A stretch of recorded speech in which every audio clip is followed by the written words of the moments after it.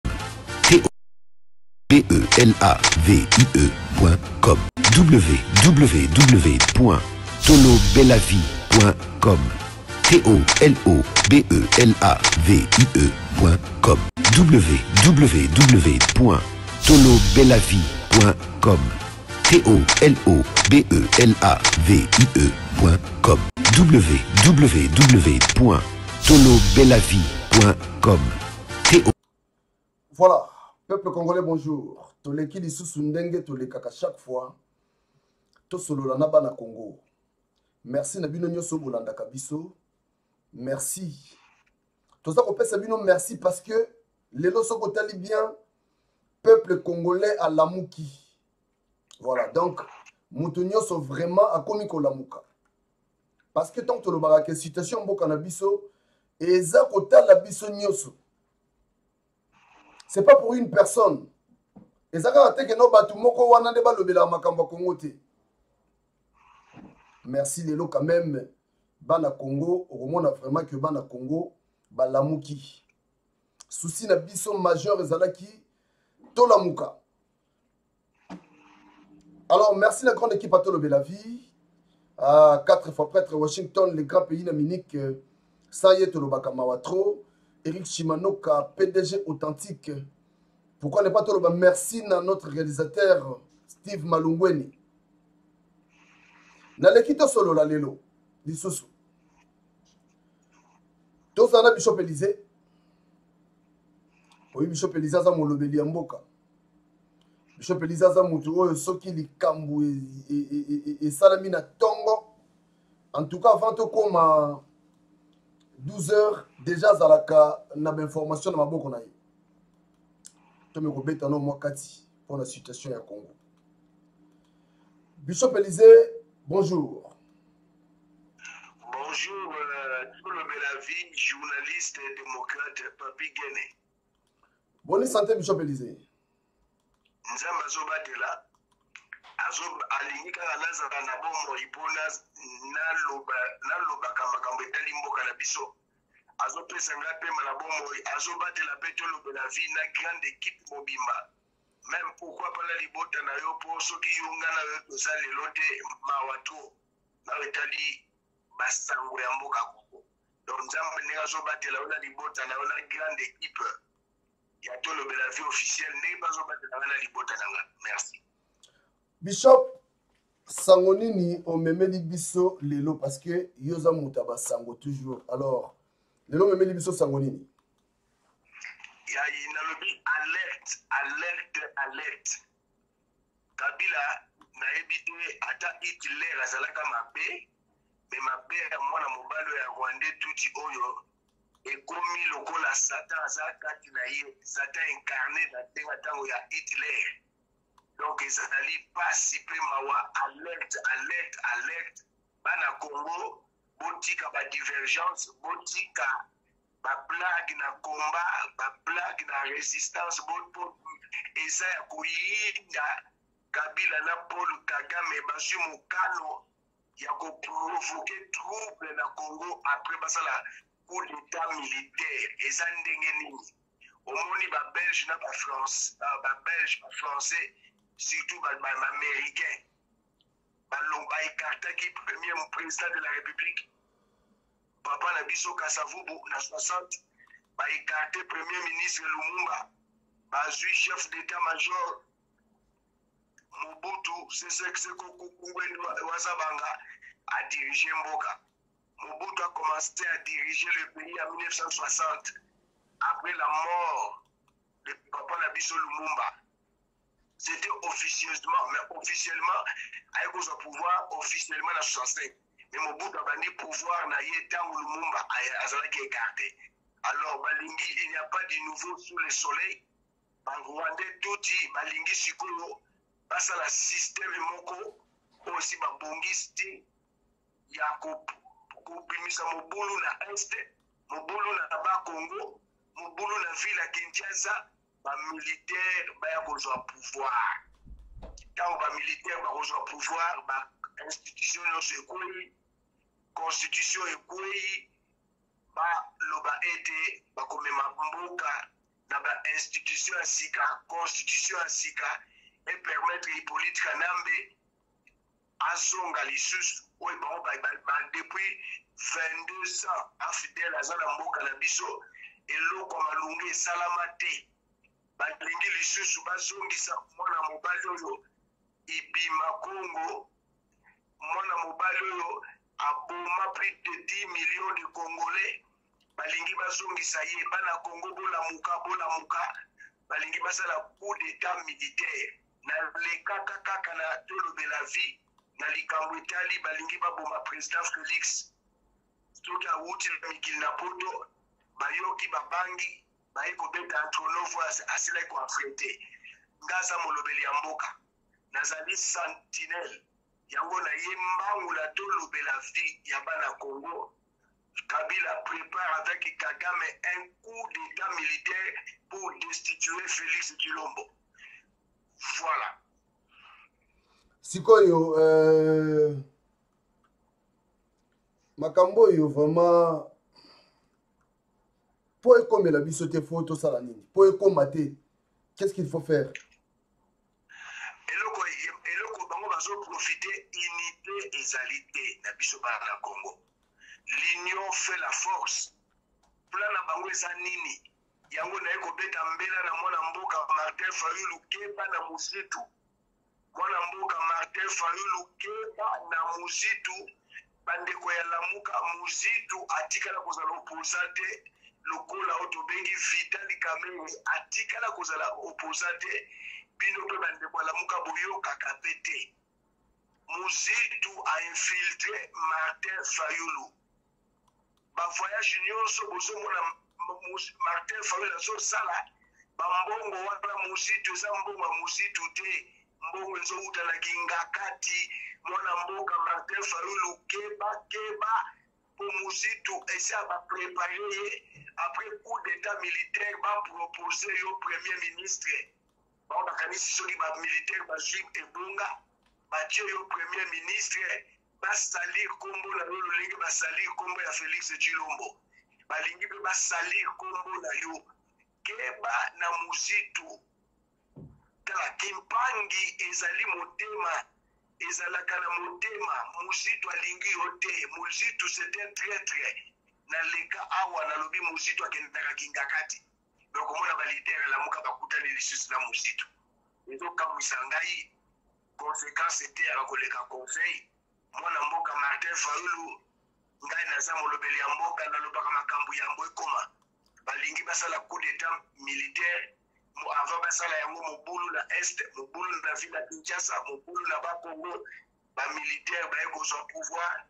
balobi tokoorganize baélection dans six mois Ale Martin Fayulu yo nde premier ministre kolinga eloko wana te ekosilisa carrière politique na yo oza mwana mboka tala elongi ndenge basali nkombo ya mwana mboka Felix Tshilombo balingi mpe basali babebisa Carrière politique na yo Muzitu azobanga mpo aza na maboko ya, ya Joseph Kabila. Joseph ayebisi ye soki ondimi Felix akontinue na pouvoir yo oyiba mbongo ya leta ntango ozalaka ministre ya budget premier ministre otonga na ville ya kinshasa plus de 300 maison soki etat de droit ekoti bakolandela yo eloko wana ekangi muzitu na singa na kingo alors nga naza molobeli ya mboka coup d'état militaire eza ko se préparer mpo bamoni ete nyonso balobaki na félix azali kotya yango susu na misala te mosusu na koloba yango awa te mpo na kopesa bango mayele président félix azoya na france Eba, akendaki na Belgique ebangisi uh, Joseph na ba Rwandais bomoni ministre ya, ya, ya, ya defense ngoi mokena akendaka te mpo na baccord militaire balingi yango te lelo lisusu na, na, na novembre awa naloba yango ntango président félix azalaki na, na, na, na belgique meme abakende belgique naloba yango akoya na france koya nde na france ezobangisa Après rencontre na ye na France na président ya France bakoyamba ye na décembre na président Trump ba Rwandais nyonso bazali kobanga alors ba préparer coup d'état militaire mwana mboka Martin Fayulu kondima ata na ndoto muzito aloba noki yo ozala premier ministre wana okopesa nga raison congolais nyonso akoyina yo na baoyo bazobenga yo lelo président élu bakoyina yo ondima ozala premier ministre soki barwandais basali coup d'état balongoli ndeko na yo félix bango barwandais bazwi batie batie yo premier ministre na après six mois baconstitution nyonso ekwei basali baconstitution ya sika balobi Joseph ako postuler alors nga tant que sentinelle ya RDC naye kokebisa mwana mboka Martin Fayulu zala mayele mozito azali liyanzi na lokolo na yo mozito azali ndoki na politike atikala kozala opposant te Abandi opposition na mbula nini muzitu? Meme Feli oyo babengi uh, Vital Kamerhe na 2009 barwande bakoti na mboka atombokaki 2019 barwande bango bakoti na mboka atomboki te ye mpe azali pion ya barwande pembeni ya Felix donc bango oyo bainfiltre biso Felix eh, bainfiltre ye na Vital Kamerhe Martin Fayulu ba infiltre ye na Muzitu. Donc euh, bana Congo totelema totelema totika ba divergence na biso nga aza sentinelle nabeti trompette na avertir coup d'état militaire elingi kosalama mpo na kolongola félix tshilombo nalobaka makambo ekokisamaka ya golov nalobaki yango avant président akita na congo merci bishop elise euh, toza na mwa mituna oyo il faut tomeka nanu kosola na yo lelo nayebi te makambo ezoleka na est hein? problème oyo ya est vraiment est ce que okoyebisa biso mpenza euh, vraie cause ya guerre à est vraie cause nango ezalaka nini parce que lelo kaka o parce que ngai aloba yango à chaque fois que est wana eza mabele na biso ya congo ezali parti oyo nzambe apesa biso cestadi est ya congo ya mboka na biso mais soki otali bien lelo oyo omona ke bamakambo ezosamba na este wana makambo wana ekosamba na kinshasa te motu moko ayebisa ngai alobi makambo oyo ezosalama na este ya congo soki esalami kaka neti na kinshasa en tout cas kolala kolamuka mbala moko soki bato bakotelaka biso bakobima bango mombangu mpo niveau peuple akolamuka nde peuple alamukaki ntango tokomaki na décembre wana alors vraie cause ya guerre oyo esalamaka na este wana cause nango mpenza ezalaka nini merci na motuna na yo nakoyanola yo boye la vraie cause de la guerre du grand kivu do lac est ezali accord ya lemera oyo bakongole ebele balingaka kokipe yango te accord wana ezalaki signe na hotel lemera na le 23 octobre 1996 oyo babengi na lopoto ya babelge 96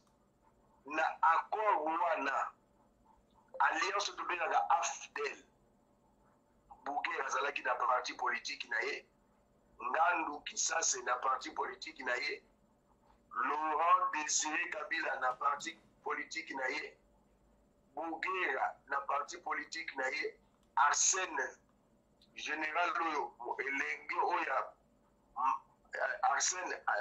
azalaki mpe na parti politiki na ye baforme babengi alliance mpo na libération ya congo nzoka ezalaki libération ya congo te ntango basali alliance wana article ya bango ya liboso balobi il est créé en ce jour du 23 octobre 1996 à l'hôtel lemera une alliance afte article na bango ya mibale le sol et le sous-sol congolais appartient à l'afdel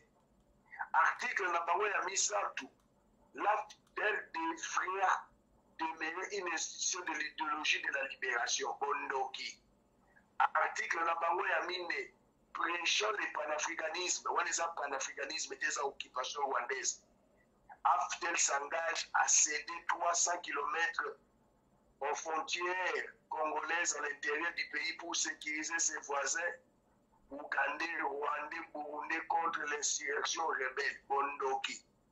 Dans l'article 7, la nationalité congolaise sera accordée collectivement, pas individuellement, aux camarades Banyamulenge et aux populations d'origine rwandaise établies au pays avant la date de, notre indépendance le 30 juin 1960. Article 8, il y a, il y ya bato bandoki oyo ya afdel l'anglais et swahili devront concurrencer le français dans l'espace linguistique de notre pays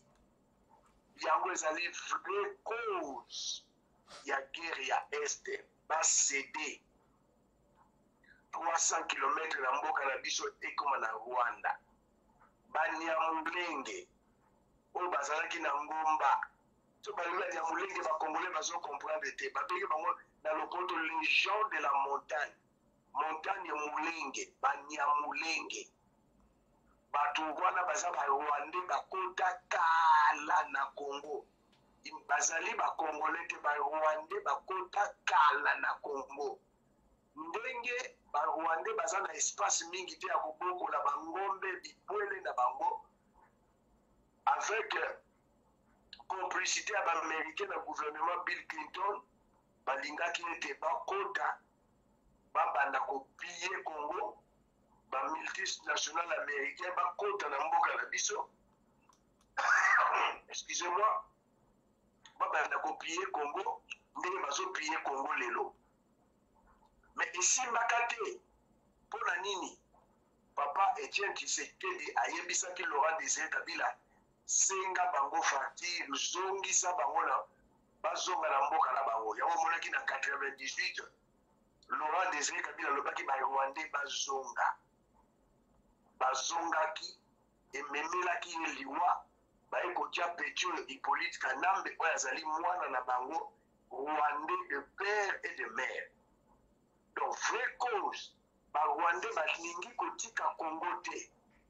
balingi bazwa 300 kilometre ya mboka na biso baannexe yango na rwanda mpo ete baluka kimia babokola mpo baza ba elever batiki na sol na sol na sous-sol na bango nkita lokola baor bacoltan bamanganese bacobalt ezalaka te alors bandeko oyo ya afdel basalaka mabe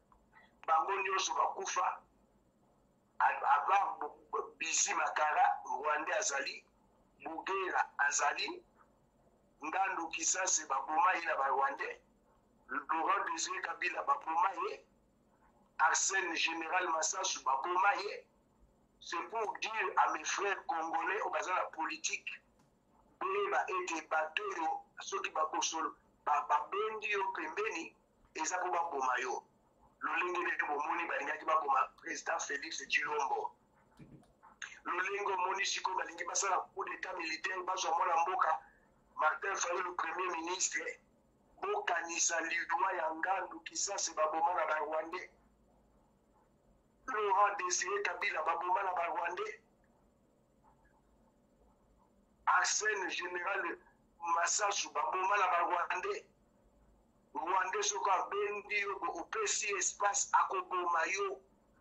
yango tozokebisa martin, martin fayulu keba na mobomi moloki monene oyo abengi muzitu président félix keba na vitali kamere moloki mobomi monene vi ezalaka na fotokopi te vi ezalaka na fotokopi te Vrai cause ya bitumba na Est, espace na Rwanda eza moke. Et Rwanda c'est un petit pays. Balingi sikoyo bazwa Est ya Congo ekota na kuna nkita ya mboka na biso ndenge baza kosalela yango basalela yango sikoyo officiellement basinyaka bacor wana na 1996 le 23 octobre na hotel lemera yango babengi accord wana accord ya lemera vrai cause na yango elingi babotola biso mabele ya mabele ya simon kimbangu mabele ya mobutu mabele ya joseph kasavubu mabele ya patrice emery lumumba mabele ya papi gene mabele ya bishop elise tolobi non ndenge bakokaki te kobotola yango depuis 96 balingi sikoyo babuswa yango na regime oyo ya felix felix mpe na bukavu aboyaki nzambe mpe na mabongisi na ye avant fondation du monde asala bandeko na biso bamai mai bango nde batelemi bazobunda mpo mabele ekende te c'est ça la vraie cause ya bitumba ya est merci bishop elise eza na motuna moko oyo bato nyonso baza baza kolobela sur euh, makambo yango mais likambo yango namonaki euh, shadari alobelaki yango nemi mwilanya ye mpe alobelaki likambo yango me tozozwa makambo yango kaka lokola lokola baaventure est ce que joseph kabila aza na likanisi ya kozonga na 2023 ou pas zela nasilisa parce que soki otali bien bato oyo nyonso baza na fcc baza na autorité morale moko c'est-à-dire motu moko akoki jamais koleka par exemple na télé ou na, na, na, na réseau social mpo aloba likambo moko oyo autorité morale na bango akoki koyeba te donc soki lelo oyo bato wana baza koleka na baetando nyonso na baplateforme nyonso mpona baannonce retour ya joseph kabila nde baloba ma eningana ya pamba te yokanisi bato oyo bazoleka mpenza kaka boye bazoleka na bango kaka pamba bazoleka kaka mpona basepisa minoko na bango parce que nde nalobi wana euh, shadak alobaki yango nemi mwilani alobaki yango lelo oyo euh, papa na biso bato bazomona deja na nkombo ya Alain Atundu alobi aucune disposition n'empêche à un ancien président de la République à briguer. Aucune disposition. Donc, ce que Maïo Ezoninga ou Bato Bazoba Makamboy bazui makanisi oyo wapi mpo akoma ti na niveau ya kobimisa makambo oyo boye voilà merci nakoloba boye soko tolobi balingi basala coup d'état militaire eza mpo na joseph azonga bamoni ke félix aza kotosa nango lisusu te bamoni ke felix mpe motema na ye sanduku oyo azokanisa bazomona ah, position na ye eza susu malonga te oyo nakoyebi biso eza ya solo félix aza koseconfie lisusu na vital camere te oyo azalaki antenne na bango eloko ezobangisa bango yango wana me atundu alain atundu azalaki parmi les quatre conseillers spécial ya mobutu toke conseil ya liboso seti yale après seti yale tomonaki ye atundu azalaki conseiller spécial ya mobutu mokolo pompo azalaki conseiller spécial ya mobutu na kulutu honore ngwanda basalaki nini mobutu babengani ye na barwandais lelo bakomi kolimbola basapato ya barwandais oyo azoloba wana ile malade aza malade soki tolobi tokende alobi aucune disposition tika nga mpe nalobele na lopoto nil ne censé ignorer que l'article 104 alinéa 6 de la constitution attribue le titre de sénateur à vie aux anciens présidents élus dont fait partie Joseph Kabila alors quels sont alors les devoirs de Joseph Kabila Joseph n'a pas de devoirs au pluriel, mais il n'a qu'un devoir. C'est celui de l'incompatibilité qui se définit comme l'administration, un Sénat Zalikou le biso comme l'impossibilité selon les lois que deux places soient remplies en même temps par une même personne la Zalakade,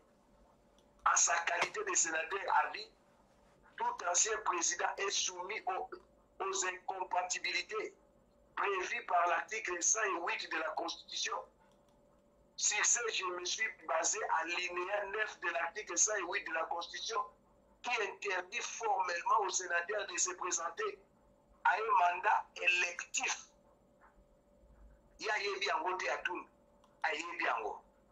Donc Kabila ne peut plus se présenter comme candidat président de la République selon les lois.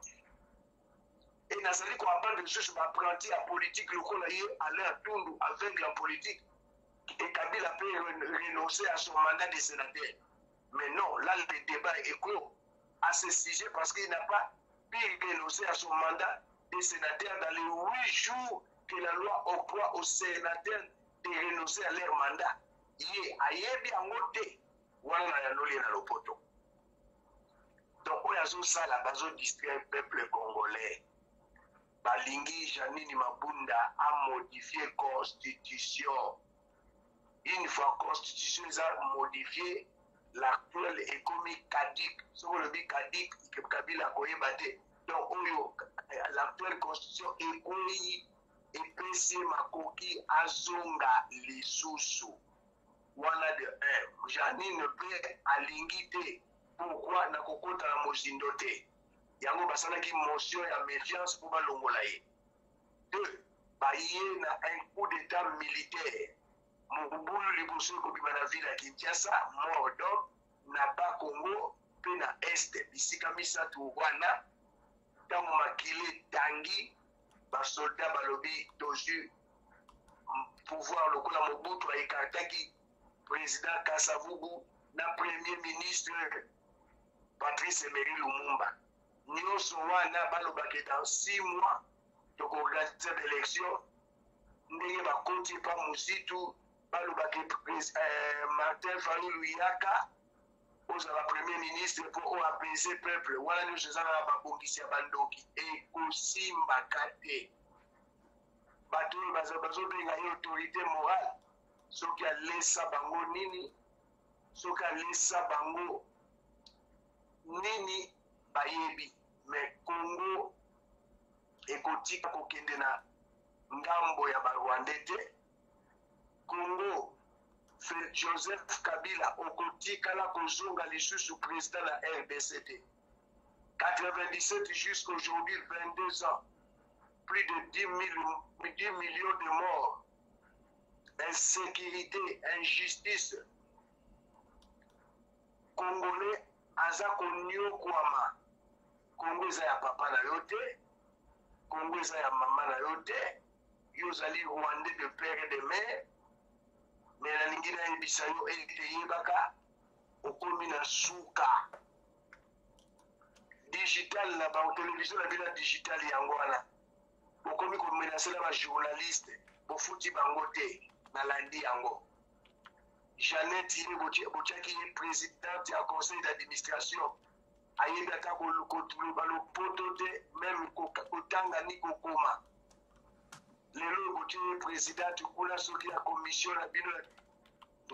parlement nyonso ozosala hippolite kanambe na bato ya fcc bokomi na suka coup d'etat militaire oyo bolingi kosala ekosimbaka te natangi article 108 de la constitution na, na alinéa 9 ya article 108 joseph akozongaka te ata bolobi arenonce bapesaka 8 jours banda sena ekoti 8 jours esi eleka akozongaka te nazosala politike oyo bongo ezali kosala soki otoki na constitution nakotangela yo baarticle na kati ya mibeko ya mboka na biso Batumbu bazali baveugle. Intelligence ezali obscurci. Intelligence na ya Atumbu ezali voile na ba Nehemi, na ba Mugalo, na ba Bushambo. Mais eloko moko na koyebisa bango, Bible elobi maudit celui qui se confie à l'homme. Baza ko se confier na Joseph, chute ya Joseph eza pe chute na bango. Bana ya bana na bango bakotikalaka kozwa misala na mboka na biso te. Trop c'est trop. Alerte, alerte, alerte. Joseph na ba Rwandais balingi basala coup d'état militaire. Totelema tosikola mboka. Merci. Mpo na tosilisa motuna moko ya suka euh, ya Baba Kyungu hein, parce que namoni auti ko kolancer avertissement moko na fcc alobi la coalition ne signifie pas rentrer au, euh, rentrer au pouvoir en 2023 donc baba kyungu soki otali bien déjà normal fala abanda mosala sikoyo ti lelo abanda nao mosala te ndenge nini yango omoni ta mosusu mwa bacolere oyo abi la coalition ne signifie pas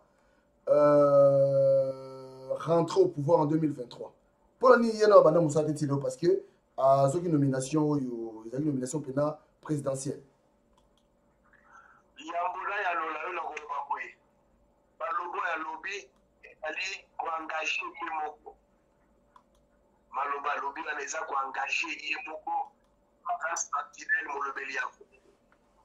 soki nano abandi te eza cause ya coalition baministre mosusu baza wana bazoyoka kaka o kamere azoloba baministre mosusu baza wana bazoyoka oyo félix azoloba baministre mosusu baza wana bazoloba kaka oyo hippolite kanambe azoloba donc euh, coalition etikala komemela biso eloko ya malonga te Première coalition tomoni yango na 60 entre Lumumba et Kasavubu eluka liwa Lumumba. Deuxième coalition ezali entre Kasavubu na Moïse Djombe eluka coup d'etat oyo tobengi Mobutu azwi pouvoir na 65. Troisième coalition yango eza kosimba te balingi bamemela biso na coup d'etat militaire. donc na mboka oyo demokrasi ezali toza na besoin ya coalition te élection esalami parti politique oyo aganye premier ministre awuti na parti politique wana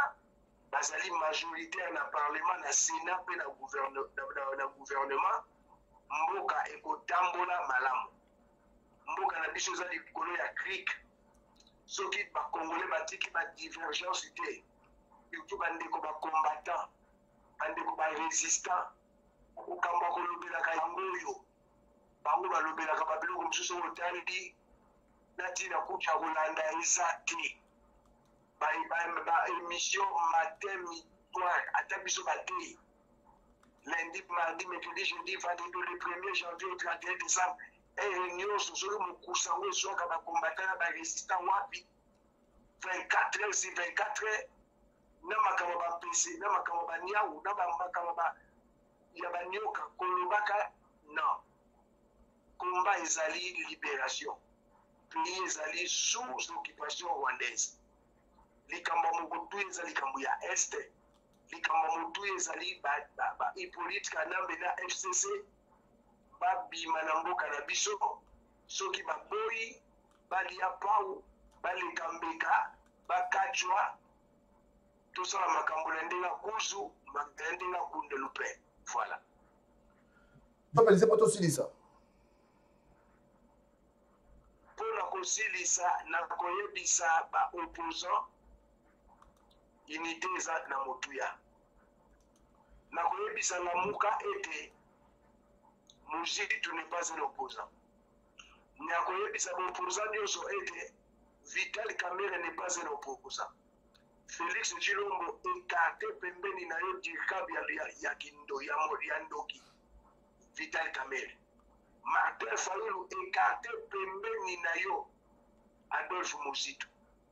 peuple congolais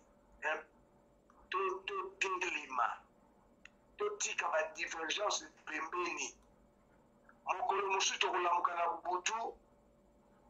john numbi azwi pouvoir bolamuki plito na ntongo boyoki john, john numbi azwi asali coup d'etat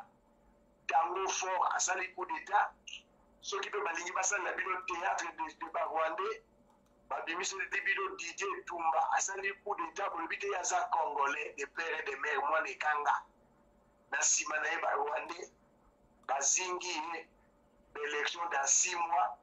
bapropose mwana mboka premier ministre martin fayulu boya esi nalobi yango nyonso nalobaka ekokisamaka alors peuple congolais c'est dans l'unité mpe tokosikola mboka botika fanatisme botika fanatisme pembeni ya président félix tshilombo botika fanatisme pembeni ya martin fayulu pembeni ya moïse katumbi pembeni ya jean pierre ebemba bolobela bandeko bosolo la république est en danger le pays est sous occupation rwandaise biso bandeko ya mouvement ya éveil patriotique la sentinelle tolobi 2023 élection avec les rwandais non 2006 batriche 2011 batriche 2018 batriche soki baélection ekozala na 2023 avec les rwandais afdel oyo ekoma pprd fcc biso tokoloba to boycote belection eloko ya motuya tobandi deya kosala ba éveil patriotique élection 2023 mais pas avec fcc élection 2023 pas avec pprd élection 2023 pas avec pprd et fcc pays eza sous occupation rwandaise Alors, mutu moko te akokosa Congolais, tel a trahi Congo, tel a trahi Congo. Ntango élection esalamaki na 2006, c'était la trahison. Tokoki kondima jamais tokende na élection ya 2006 avec Joseph Kabila Simo. Et élection ya 2011, c'était encore la trahison. Tokoki kondima yango te. Même élection ya 2018, est-ce que le Congolais botrahi mboka na bino? Alors biso tolobi na kati na mouvement patriotique ya effet patriotique la sentinelle élection 2023 sans, sans les occupants soki baopposant bakoloba baélection ekozala biso tokoboya opposant nyonso akotya libaya tokomona ye traitre atrahi mboka élection ya, ya mbala mingi na barwandais toboyi voilà peuple lamuka Kanguzi Fweni, Isayi Ineneya, ti badi ya kokumbana ntango ekoki ntango zifweni merci merci beaucoup bishop